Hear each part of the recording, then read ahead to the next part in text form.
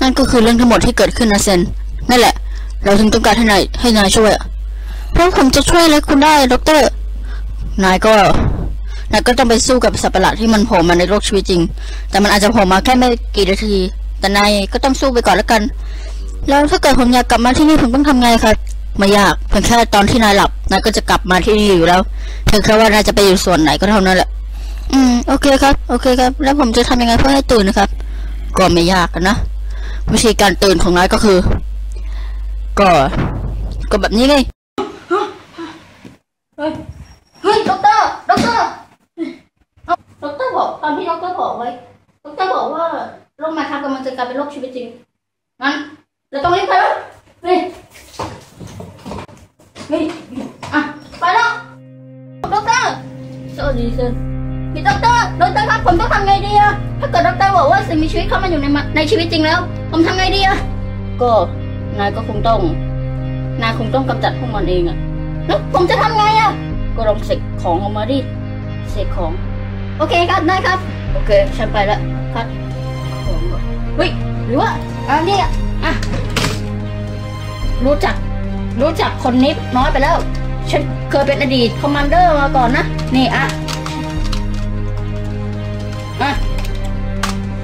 โอเค เออ โอเคทำของจริงเจ๋งดีแฮะ แต่ว่า อ้าวเราลืมเสกธนูเอ้าทำไงดีดีแต่ว่าไม่เดี๋ยวนะโอ้ใช้แทนธนูได้ไหมเนี่ยอืม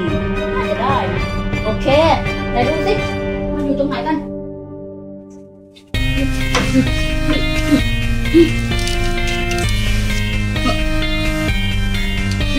นี่มันอะไรกันเนี่ย อุ้ยไม่เคยยิงธนูซะด้วยนี่นี่ตัวมันอะเดี๋ยวก่อนเล่นก่อนอ่าตัวมัน yes ตัวมันด้วยเฮ้ยเราเราเราไม่มีธนูต่อแล้วอืมแต่ว่าเมื่อกี้ก็เห็นมีอยู่แค่ตัวเดียวนี่หว่างานเข้าแล้วเฮ้ย เฮ้ย เฮ้ย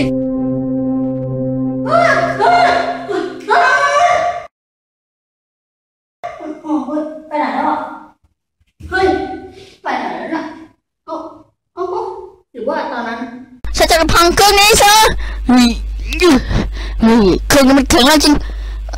yes ฉันทำมันสำเร็จแล้วอ๋อโอเคโอเค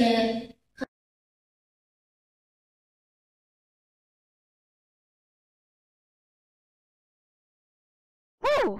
เฮ้ยดูสิ โอ้โห ที่นี่ดูเจ๋งดีแฮะ โอ้โห ทั้งสีพื้นอะไรเนี่ยโอ้โหเจ๋งหมดเลย